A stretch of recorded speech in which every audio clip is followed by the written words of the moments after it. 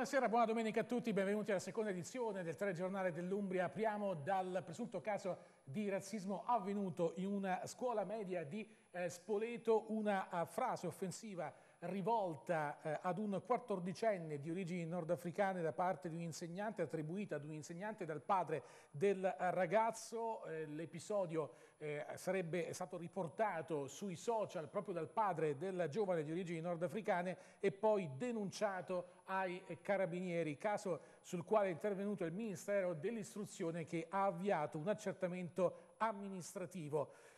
Adesso eh, parliamo eh, di un incidente che è accaduto eh, poco fa nel eh, Ternano e proprio in questo momento in corso l'intervento dei Vigili del Fuoco e sanitari del 118 sul posto, un incidente che è avvenuto sulla Flaminia all'altezza del bivio di Ponte Sanguinaro, un incidente stradale che ha visto un impatto frontale tra eh, due auto, una persona risulta ferita e incastrata ancora all'interno del mezzo. E quindi cercheremo di darvi anche ulteriori aggiornamenti su questo episodio che è accaduto proprio nel tardo pomeriggio di oggi. Adesso apriamo la situazione Covid in Umbria con i dati aggiornati eh, di oggi, domenica 13 giugno, con le nuove positività riscontrate eh, nelle ultime 24 ore, sono 11 i nuovi casi eh, positivi con 32 guariti, gli attualmente positivi eh, scendono a 1037, 21 in meno eh, di ieri. I test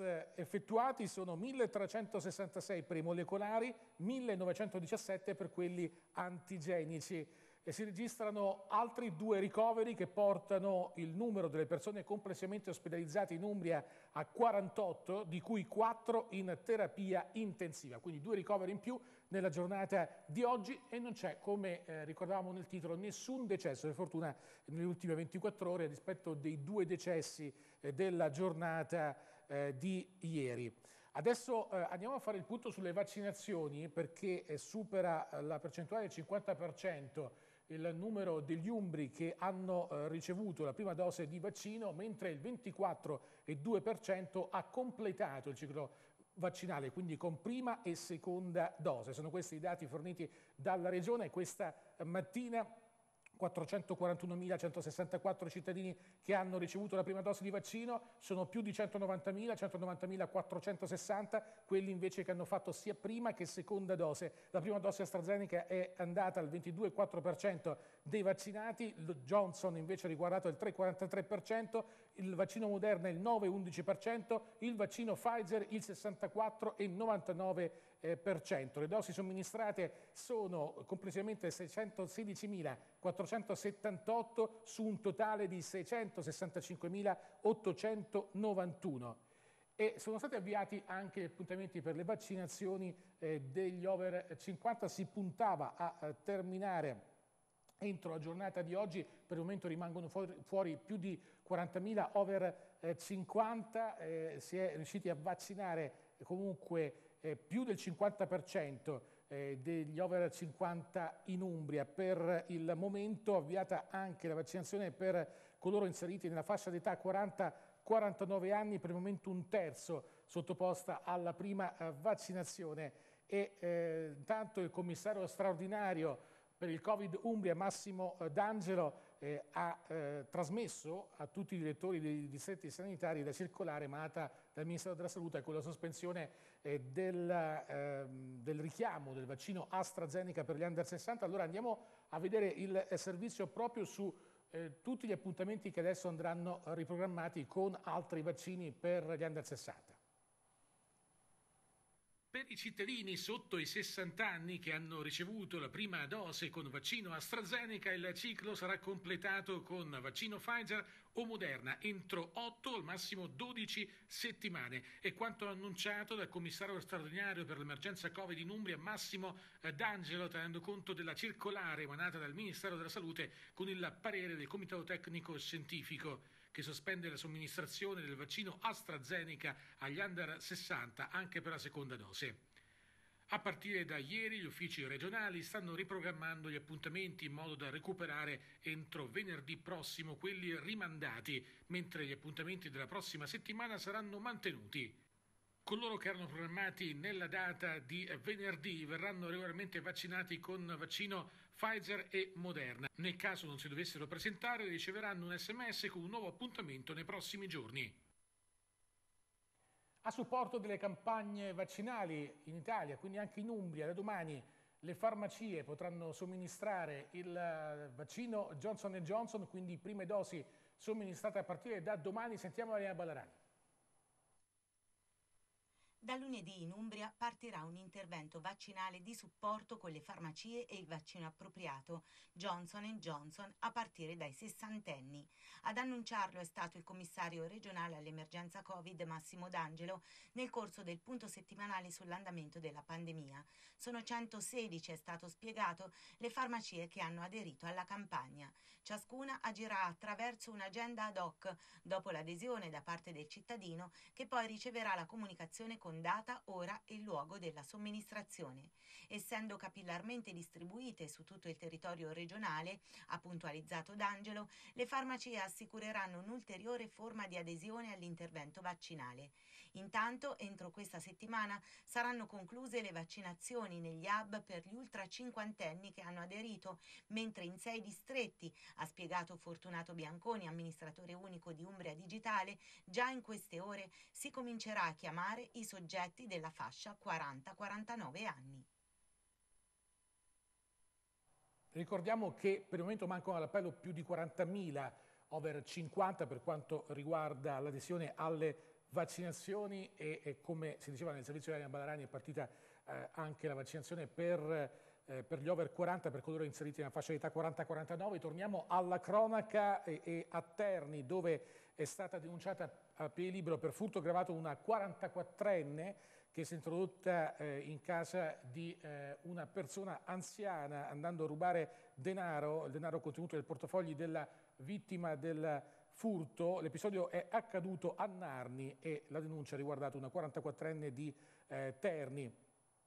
La eh, squadra dei Vigili del Fuoco della centrale di Perugia ha operato questa mattina su Monte Penna, all'altezza della zona di Montemelino, nei pressi di Magione, per il recupero di un ciclista che si è infortunato ad un arto a seguito di una caduta e, e eh, c'è stato l'intervento anche del soccorso alpino, il 118 sul posto e quindi per fortuna eh, l'uomo è stato recuperato e soccorso. Altro aggiornamento di cronaca che arriva dall'Iran dove eh, suora Giuseppina, Giuseppina Berti, suora Giuseppina Berti di Foligno, eh, 75enne, che ha lavorato per quasi 30 anni eh, nell'ebrosario di eh, Tabriz in, in Iran, eh, non ha ottenuto il rinnovo del visto e quindi sarà costretta a lasciare eh, il eh, Paese, quanto ha, ha riferito eh, proprio questa mattina l'agenzia di N. Kronos. Eh, la suora Umbra aveva eh, avuto il permesso di soggiorno, permesso che era scaduto da oltre un anno e dovrà lasciare la Repubblica Islamica.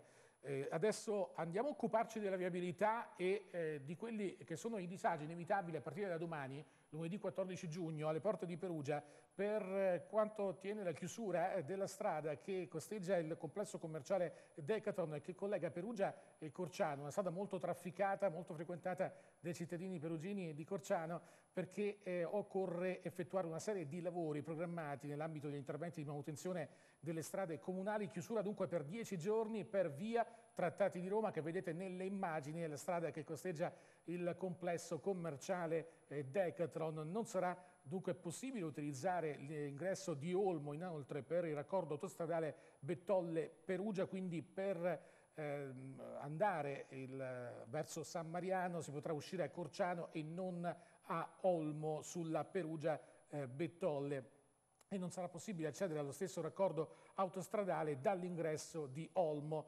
mentre per le macchine che vanno a eh, percorrere questo tratto, e quindi questo raccordo, e sono diretti a San Mariano, potranno, ricordiamo, uscire a Corciano. Chiusura della strada che costeggia il complesso Decathlon dell'ingresso a Olmo eh, sulla strada Bettolle, ricordiamo, per dieci giorni da domani, lunedì 14 eh, giugno e sempre da domani sarà temporaneamente chiusa in entrambe le direzioni la strada provinciale 471 tra le località Caso e Giovelli nel comune di Sant'Anatolia di Narco in provincia eh, di eh, Perugia. La chiusura disposta con ordinanza della provincia di Perugia è necessaria come ha comunicato ANAS, per consentire in sicurezza i lavori di ripristino della stabilità dei versanti rocciosi. E adesso andiamo a Foligno con due mostre dedicate a Raffaello eh, all'interno del Museo Capitolare Diocesano. Eh, ieri la presentazione della mostra collettiva dei finalisti dell'Open Call, la Madonna di Foligno con la premiazione eh, nel pomeriggio di eh, ieri e poi presso la corte di Palazzo Trinci, sempre a Foligno, è stata presentata la mostra di Nicola Samorì dei Santi e del Fuoco, intervistato per noi da Elena Ballarani. Sentiamo.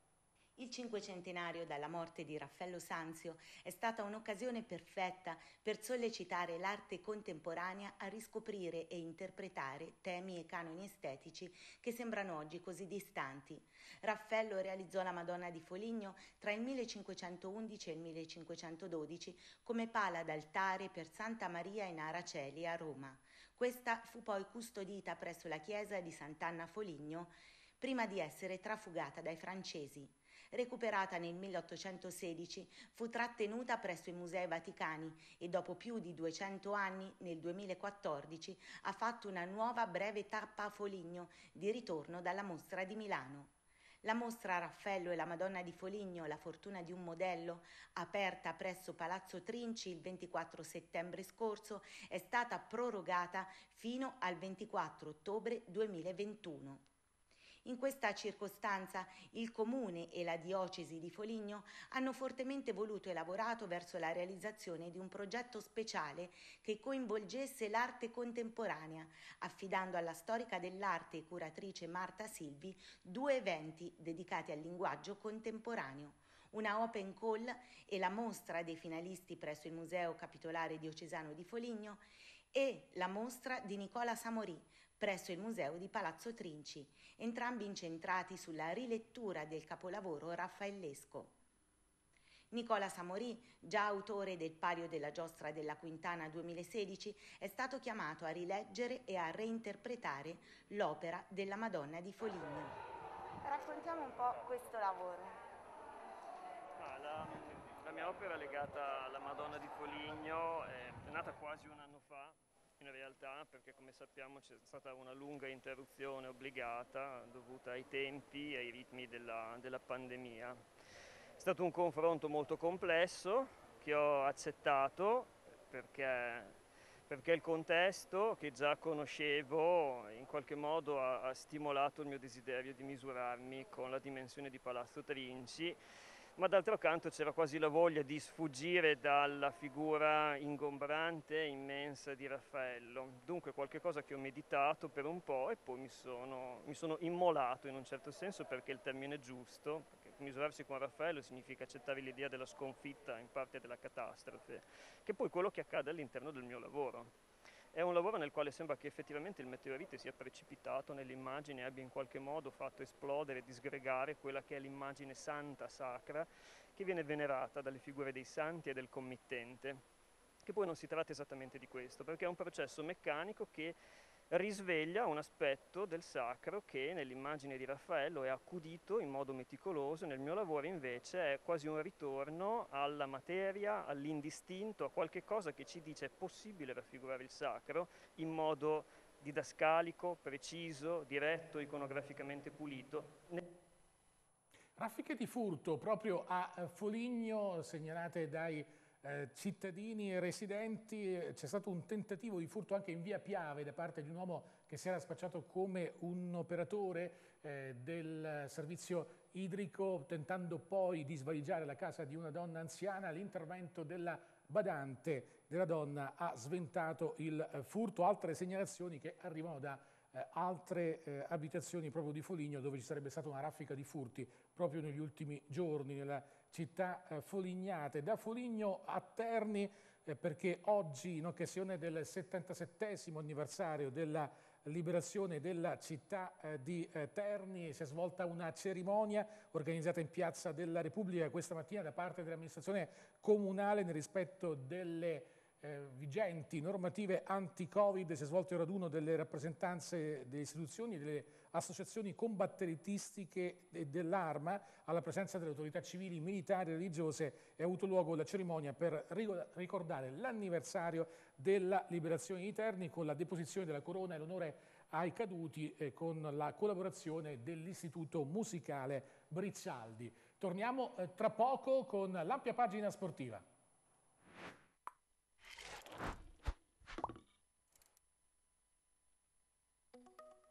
Dal 1980 SISAS è un'azienda leader nel settore della segnaletica e della sicurezza stradale. SISAS offre una vasta gamma di prodotti che vanno dalla segnaletica ai sistemi di monitoraggio del traffico e della mobilità. Visita il nostro sito sisas.it o mandaci una mail a info-sisas.it. La sicurezza di chi circola sulle strade è la nostra priorità. SISAS, la strada è la nostra passione. Pizzeria Ristorante Il Maghera, aperto tutti i giorni a pranzo e a cena. Con la sua ampia scelta di piatti genuini e gustosi, vi offre la possibilità di poterli gustare anche nell'ampio spazio all'aperto. Pizzeria Ristorante Il Maghera. Vi aspettiamo a Perugia in via Pietro Soriano.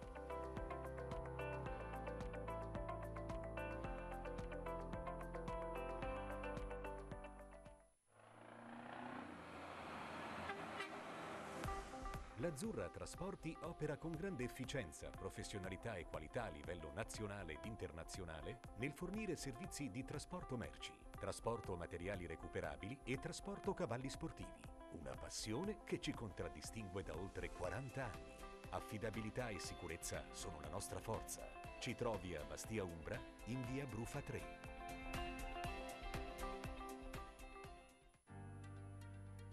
Vuoi regalare alla tua casa il massimo del comfort e dell'eleganza? Scegli le finestre forti infissi, alta efficienza, design unico e realizzate 100% in Italia. Shabby, industrial, vintage, contemporaneo, rustico, classico o moderno. Scegli per la tua casa lo stile che più ti piace. Forti infissi ha una finestra per ogni tendenza. Oggi, grazie agli incentivi EcoBonus, Forti Infissi ti riconosce uno sconto in fattura immediato del 50% e non dovrai attendere 10 anni per recuperare le detrazioni fiscali. Ti aspettiamo in totale sicurezza nei nostri showroom a Perugia, Foligno e Arezzo. Prenota subito un sopralluogo con preventivo gratuito.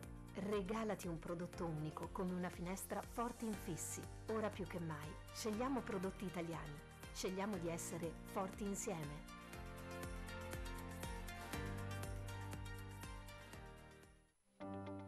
AIRE, esperienza, professionalità e competenza sono le nostre parole d'ordine da oltre 20 anni. AIRE, azienda leader nel settore farmaceutico sempre vicina ai suoi clienti, con la distribuzione nelle farmacie di tutta Italia di dispositivi di protezione individuale made in Italy, tessuti e colori certificati e di alta qualità.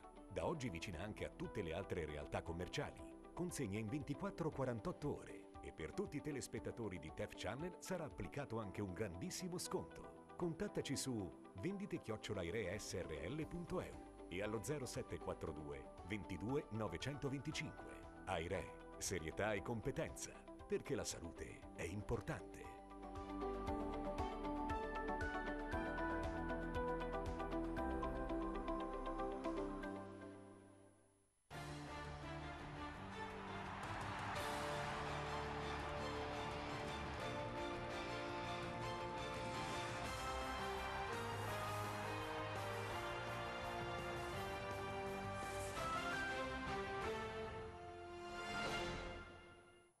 L'Umbria segue con particolare attenzione eh, la eh, eh, situazione degli azzurri e gli europei di calcio eh, con eh, questa manifestazione itinerante, l'Italia che è partita dal debutto all'Olimpico con Spinazzola, Folignate, ex giocatore del eh, Perugia, migliore in campo, votato dall'UEFA come migliore in campo nella sfida vinta con la Turchia per 3-0 e qui vediamo proprio su Instagram Miriam Sette, la moglie di Leonardo Spinazzola, che eh, ha voluto postare questa foto per manifestare tutto il suo entusiasmo insieme al figlio più grande con la scritta che emozione, grande papà, ti amiamo da morire. Un grande momento per il giocatore umbro, ricordiamo di Foligno eh, che ha mosso i primi calci proprio a Foligno per poi eh, trovare eh, un trampolino di lancio nel Perugia di Bisoli del direttore tecnico eh, Goretti eh, sei anni fa e poi l'esperienza dall'Atalanta, alla Juventus e adesso alla Roma per Leonardo Spinazzola, protagonista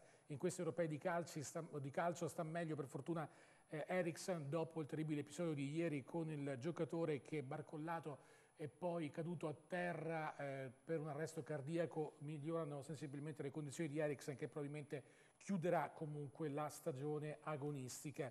Andiamo avanti con la pagina sportiva, torneremo tra poco sul calcio, spazio alla presentazione del grande acquisto della SIR, Simone Giannelli ieri al, ehm, al Quasar Village di eh, Corciano, grande pubblico e grande attestato di affetto per il nuovo giocatore bianconero. Elian Badarani ha intervistato per noi Simone Giannelli. Noi da cinque anni siamo partner televisivo ufficiale della SIR Perugia, è un vero piacere averti con noi. Siamo in diretta Partiamo subito dalle sensazioni che hai avuto oggi, insomma questo bagno di folla, anche grazie al fatto che l'Umbria è zona bianca finalmente. Esatto, per fortuna, per fortuna, no, sono sensazioni incredibili, sono veramente contento di, di essere qui in mezzo a tutte queste persone, a questi tifosi. Ho sentito e percepito il calore incredibile che, che c'è dietro questa squadra, quindi sono molto contento di, di essere qua e non vedo l'ora di, di iniziare perché noi ti avevamo visto per l'ultima volta in tv con le lacrime agli occhi, non riuscivi quasi a parlare dopo la finale di Champions. È stato quello forse il momento in cui hai pensato forse quest'anno è arrivato il momento di uscire dal mio nido, come hai detto tu prima? Ma eh, non so se era stato realmente quello, eh, dico che sono uno che non molla, quindi anche se mi avete visto così, perché quando uno ha passione, quando perde poi ci rimane anche tanto male, quindi ho preso tante batoste, ho vinto tante cose importanti, ma posso fare ancora di più o voglio vincere altre cose, quindi adesso questa maglia è... sono uno che non molla come ho detto, quindi cercherò ancora quelle sensazioni per poter tornare ad alzare dei trofei. Complimenti Serie, il grande acquisto, il grande mercato estivo del Block Devils, adesso il calcio con il Perugia vicina, ormai vicinissima, alla decisione di Caserta, il programma domani con l'incontro eh, decisivo tra Santo Padre e il tecnico calabrese e quindi si avvicina all'ufficialità eh, di Alvini sulla panchina biancorossa. Da lunedì ogni ora potrebbe essere buona per l'ufficialità dell'arrivo sulla panchina del Perugia di Massimiliano Alvini. Un tecnico che nella sua carriera ha fatto tutti i gradini partendo dal basso e arrivando in una piazza che sogna da più di 15 anni il ritorno in Serie A. Sempre lunedì è previsto l'incontro decisivo tra Santo Padre e Caserta per porre fine ad uno stato di incertezza determinato dallo scorso primo giugno, quando le parti si sono dette per la prima volta di non amarsi più come prima. Qualche cosa che forse non è andata bene durante la stagione aveva condizionato il tecnico calabrese, comunque convinto dal progetto del Benevento come comunicato alla società di Santo Padre. Di qui giorni interminabili di trattative per arrivare ad una soluzione accontentando le richieste legittime del Perugia che aveva ancora due anni di contratto con il suo allenatore. Dopo la firma di lunedì, Caserta raggiungerà la società di Vigorito per iniziare la sua avventura in giallorosso. A Marco Giannitti il compito di ricostruire la squadra, valutando le possibili conferme di alcuni uomini chiave della passata stagione come Sunas, Angela e Quan, ma la sensazione forte è che ci sarà un ampio rinnovamento sulla base delle indicazioni di Alvini, che gioca con il 3-5-2 o in alternativa con il trequartista con il 3-4-1-2. Piace l'esterno lunetta dell'Atalanta, mentre si allontana Elia che potrebbe seguire Caserta proprio a Benevento. E ieri si è giocato il derby primavera, vinto dal Perugia sulla Ternana per 2-1. Alla Final Four dunque accedono i Grifoni, primi in classifica, secondo il Teramo, terzo posto per la Ternana. In gol Morina, che qui vedete vicino alla segnatura dopo 5 minuti, al tredicesimo segna proprio il numero 8 biancorosso per l'1-0 dell'attaccata del Perugia per 1-0 dei Grifoni, Morina dunque al tredicesimo, poi il raddoppio di Lunghi in contropiede nel secondo tempo con eh, questo tiro imprendibile all'angolo basso da parte di Lunghi sul 2-0 dell'elezione della Ternana con il Grifo in 10 eh, uomini per espulsione di Angori e sul rigore Falanga al 39esimo della ripresa corcia le distanze ma la squadra di Formisano può festeggiare alla fine la meritata vittoria e l'accesso alla Final Four, dunque trionfo per i piccoli grifoni under 19, bella giornata di sole e bel pubblico anche all'antistadio del Curi ieri per la vittoria nel derby contro la Ternana. Parliamo proprio della Ternana, di Lucarelli premiato eh, al Gran Galà del calcio Umbro ad Assisi eh, la scorsa settimana, è stato un bel momento eh, proprio per andare anche a conoscere meglio grandi eh, personaggi del calcio nazionale come lo stesso Causio, Causio premiato anche il DS del Perugia Giannitti, eccolo mentre Lucarelli parla proprio di Bronzetti, il primo Bronzetti è andato proprio al tecnico eh, della Ternana che ha chiesto 5 innesti sul mercato eh, per la prossima stagione di Serie B e potrebbe esserci la eh, sorpresa di eh, Leali proprio per la porta rosso-verde, visto che per il momento Fiorillo sarebbe intenzionato a rimanere al eh, Pescara, eh, c'erano diverse opzioni, anche quella di Paleari del Genoa, per il momento la società di Bandecchi punta proprio l'ex Grifone eh, Leali. Per il resto, dopo l'ufficialità di Ghiringhelli, eh, arrivato dalla cittadella, e il riscatto eh, di Palumbo, Leone mira a um, tenere ovviamente Partipilo e Falletti, sono i due pilastri su cui verrà costruita la Ternana eh, della prossima eh, della prossima stagione. Complimenti a Lucarelli, sono arrivati anche dal patrono del Real Madrid, Florentino Perez per un eh, bel momento l'8 giugno scorso proprio ad Assisi, al Gran Galà del calcio umbro che vi proporremo nel palinsesto di TEF Channel a partire dalla prossima settimana organizzato da Infopress, ne parleremo anche all'interno di Grifo Stadium domani sera a partire dalle 21.15, sempre alla ricerca di attaccanti, il Gubbio che comunque prevede l'innesto eh, di eh, una serie importante eh, di eh, nuovi giocatori eh, una movimentazione che porterà almeno 10 innesti da parte della società rossoblu